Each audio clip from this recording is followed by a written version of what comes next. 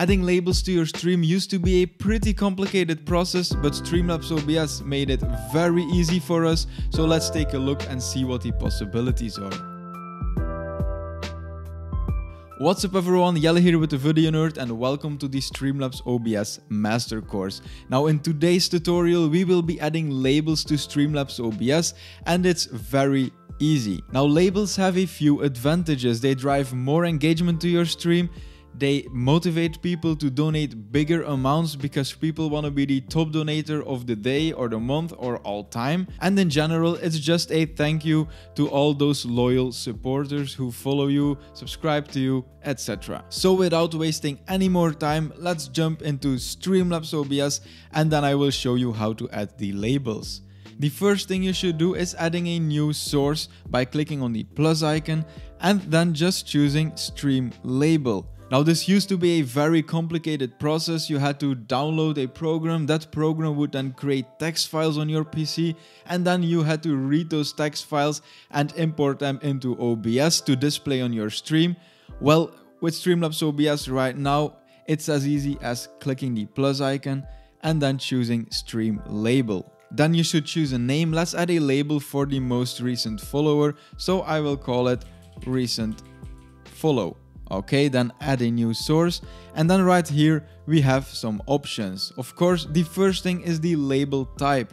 So there are a lot of options. I can never go over all of these in this video. So just read through them and see which labels are interesting for you and which aren't. Right now I will go to followers and then right here most recent follower and then right here at the top we can see the most recent follower of the Video Nerds Twitch channel. Then under that you have the label template and this is how it will be displayed on your stream. Right now it's just the name between parentheses so it just outputs the name to your stream when you add something in front like recent follow.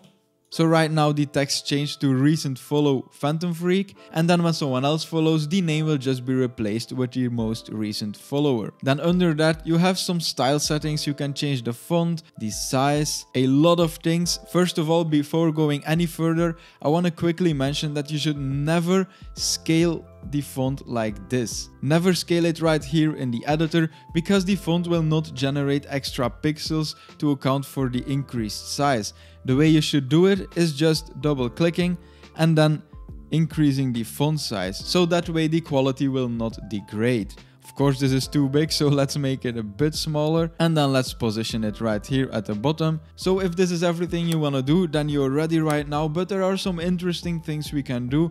We can make the name scroll and this makes it much more engaging and it creates some kind of motion on your stream and that's never a bad thing. So let's set that up right now. Of course we don't want everything to scroll so what we will be doing is we will create separate sources for the recent follow, for the text recent follow, and then another source for the name of the recent follower.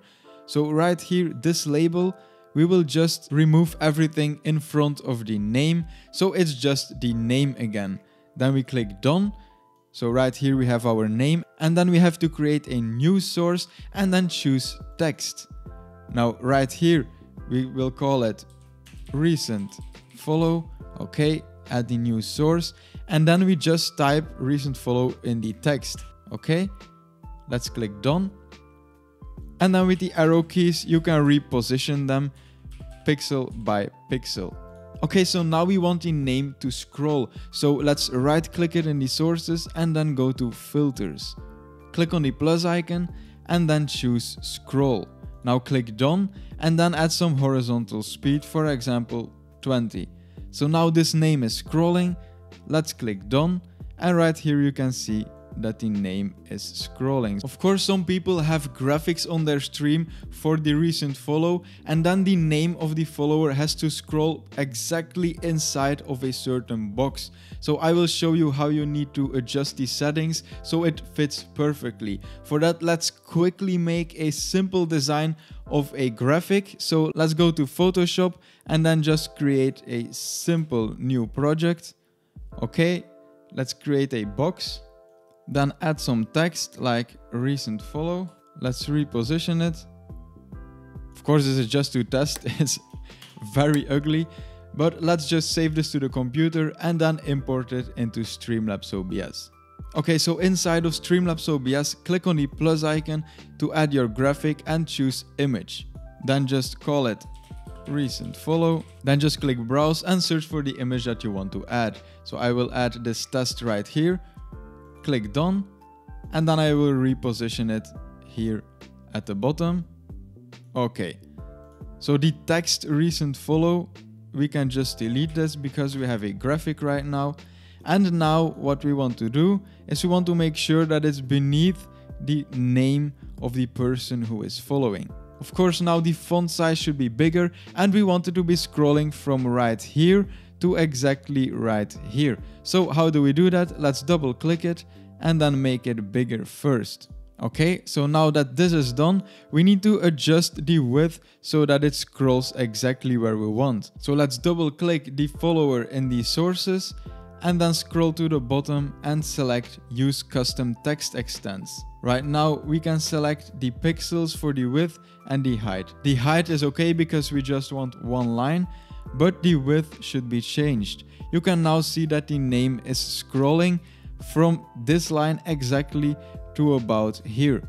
Now, of course, the proportions of these things aren't correct, but it's just for the tutorial now. I'm just showing you what the possibilities are, and then you can adjust it for your own graphics on your stream. Now, another fun thing to add with these labels is a follower train clock. Now, to do this, again, click on the plus icon, go to stream label, and call it follower clock, okay? Add new source, and right here in the label type, scroll for follow train, and then follow train clock okay? So it's at zero, let's make it a bit bigger. So right now when you get a new follower, this clock will jump to whatever duration you did set up. And then every time you get a new follower, it resets again till it drops to zero and then the train ends. Now, like I said in the beginning of this video, there are so many options with this. I cannot explain everything right now. So what labels will you be setting up for your stream? Let us know down in the comments because I'm really curious and we can all get some inspiration for cool labels to add to our stream. And remember that this was only one of the guides in the Streamlabs OBS Master Course playlist. So if learning more about Streamlabs OBS is something you are interested in, go to this playlist and there there are a lot of useful videos for you. If you aren't subscribed to the channel yet, then what are you doing? Because we learn everything about Twitch, streaming in general, growing on social media, everything that you can benefit from. So if you're not subscribed yet, click the subscribe button, turn on the bell for the notifications, so I will see you in my next video. Have a good day.